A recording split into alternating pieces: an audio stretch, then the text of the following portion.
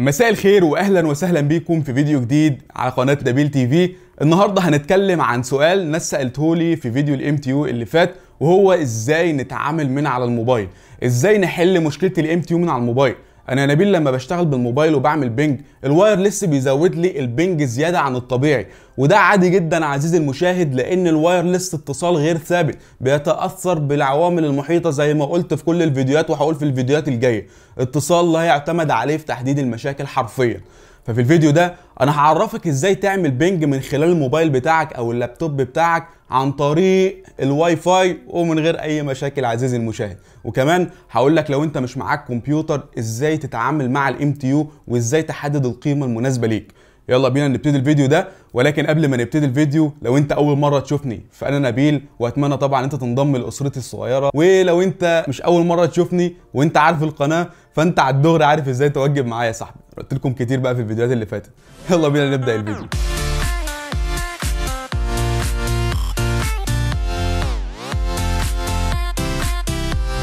إحنا خلاص عرفنا إيه مشكلة ال wireless وان هو بيعلي ال ping. دلوقتي بقى هنيجي لحل المشكلة دي. ولكن قبل ما أقول لك حل المشكلة هقول لك آلية اختيار ال MTU عن طريق الموبايل أو آلية تجربة القيم.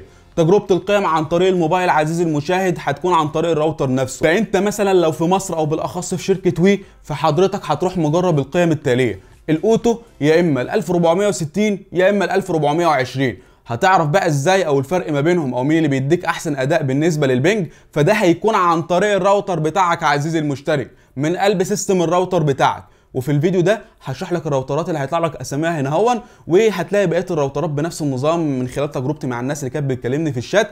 هتلاقي كله شبه بعض تقريبا وبنفس يعني ال logic وبنفس المنطق.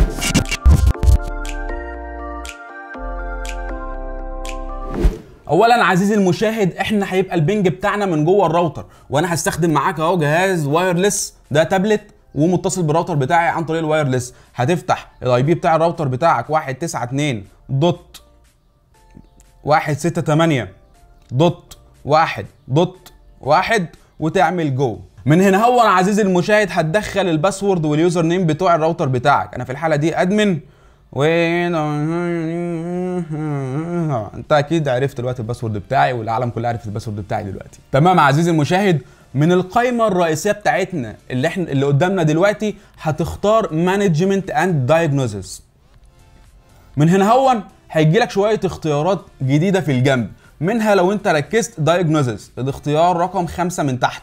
diagnosis من هنا هتختار أول اختيار في نص الصفحة عندك اللي هو ال ping diagnosis وعند ال IP address أو ال host name بتكتب جوجل dot com أو ال IP أو عفوا الموقع اللي انت عايز تعمل عليه ال ping. بالمنظر ده.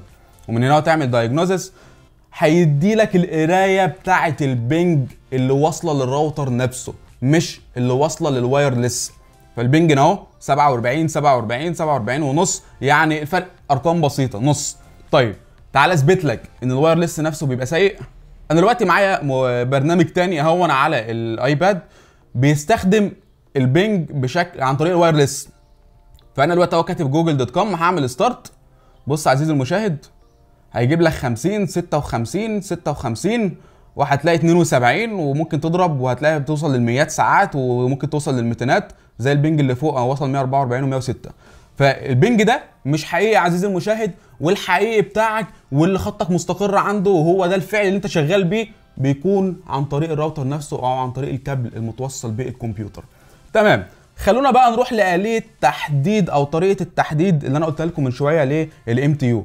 إحنا كلنا هنروح عادي لل MTU بتاعنا عن طريق الإنترنت. وبعد كده ال WAN.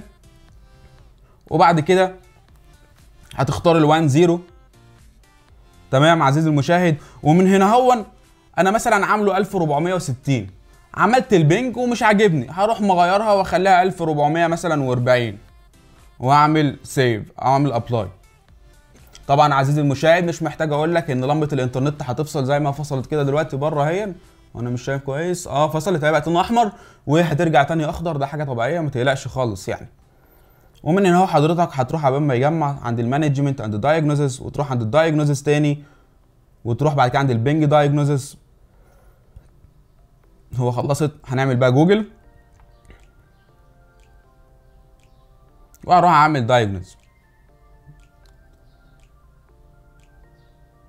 امم يا أبو مسهل تمام. قال لك 47 و7 47 و2 47 و3 47 و4 مش عاجبني عزيزي المشاهد أعمل إيه؟ أقوم رايح وأروح عند ال WAN. ومن ال WAN هروح عند ال WAN zero. ومن هنا هو أنا هروح مختار ال 1420 وأروح أعمل apply وأقوم رايح تاني عند ال management وال diagnosis وبعد كده أروح تاني عند ال diagnosis واختار ال ping diagnosis أنا بأكد الخطوات مرة واثنين وثلاثه لأن في ناس بتكلمني بتقول لي يا نبيل راعي إن إحنا مبتدئين. فأنا بحاول على قدر الإمكان والله إن أنا أكرر لكم علشان تبقى الأمور واضحة. تمام؟ وهروح تاني وأقوم كاتب جوجل dot com. وأعمل diagnose أو diagnose ما علينا أنا الإنجليزي بتاعي بطيخ يعني. تمام؟ اداني 47 46 46 46 خلاص والله أنا عزيزي المشاهد أنا راضي بالنتيجة دي وأنا أصلا عارف إن خطي كويس على 1420 فأنت هتفضل تجرب لحد ما توصل للثابت بالنسبة لك جوه صفحة الراوتر ومن هنا ومن خلاله أنت كده عرفت إيه ال optimal أو إيه المناسب ليك. خلاص نركن كده الايباد بتاعك أنا مش معايا كل الراوترات أنا وفرت لك الفي دي اس ال الزد تي اي والفي دي اس ال الهواوي اللي هو الأخير دون اللي هو ال DG مش عارف كام ده وهوفر لك ال HG 532 وكمان راوتر من TP-Link اظن الأربع راوترات دول هيدوا لك خلفية عامة عن معظم الراوترات الموجودة في السوق ومش هتخليك محتاجة يعني شرح تاني أو أي حاجة. فيلا بينا نروح. للشرح. ودلوقتي طريقة ال ping من خلال راوتر ال HG 531 أو 32 أو 32 e أو أيا ما يكن أي راوتر بيشتغل بنفس ال software ده. هنفتح صفحة الراوتر عادي ونكتب admin وال password بتاع ال admin ونعمل login من الصفحة الحالية حضرتك هتختار maintenance من هنا حضرتك هتختار diagnose ومن هنا هيبقى عندك كذا اختيار منهم ال trace route ومنهم ال ping test هنا هو هتكتب ال destination address هتكتب فيها الجوجل dot com بالمنظر ده وهتعمل start ping دلوقتي هو مش هيشتغل لأن الراوتر زي ما وضحت لكم مش واصل له انترنت ولكن هتلاقيه شغال معاك بشكل طبيعي وهيطلع لك في الجزء ده ال ping الخاص بيك. طيب دلوقتي أنا هعمل الشرح بتاع ال TP-Link والموديل اللي معانا شباب اللي هو TD-W 896 1 N ده الموديل القديم أو الاصدار القديم الخاص بال ADSL أنا عندي ال IP بتاعه 1 3 أنت عندك هيبقى 1 1 ال default بتاعه. وهتكتب admin admin أو حسب ال password وال username بتوعك اللي أنت عامله. تمام. من هنا حضرتك هتخش على ال maintenance أو الصيانة بمعنى صح هتخش على ال diagnostics. تمام؟ وهنا هتلاقي عندك ال IP address أو ال domain name اهون هتروح حضرتك كاتب فيه مثلا جوجل dot com. تمام؟ ولما هتعمل ping هيشتغل. هو دلوقتي مش هيشتغل لأن أنا للأسف مش موصل منه إنترنت. هو مش متوصل بيه كابل ال ADSL بمعنى أصح أو كابل ال DSL ففي الحالة دي لازم تكون حضرتك موصل كابل ال DSL في ظهر الراوتر. أي راوتر هتعمل بالخطوه دي لازم تكون موصل كابل ال DSL فيه مش مش راوتر في ال LAN عموما. ولكن هي دي الطريقة بتاعته هتلاقي إن هو بيبدأ يظهر لك ال ping بتاعه. دلوقتي معانا إعدادات ال DG 8045 من وي. الراوتر ده زهقني حرفيا علشان أعرف أعمل إعدادات عليه لأن الراوتر معايا بايظ وبيطلعني على طول من ال admin.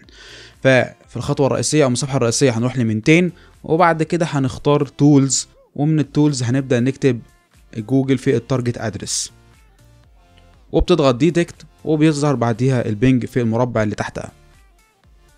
بكده نكون وصلنا لنهاية الحلقة. عزيزي المشاهد أتمنى طبعا إنها تكون أفادتك. ولو شايف إن هي أفادتك أو ممكن تفيد غيرك فأتمنى جدا جدا جدا أنت تعمل share على ال social media مع صحابك وإن أنت تعمل اشتراك في القناة وتفعل زر الإشعارات وتحط اللايك. ده شيء مهم. وكمان تحط تعليق تحت في الكومنتات. أتمنى لكم يوم سعيد وبيضحك ورمضان كريم علينا. وعليكم.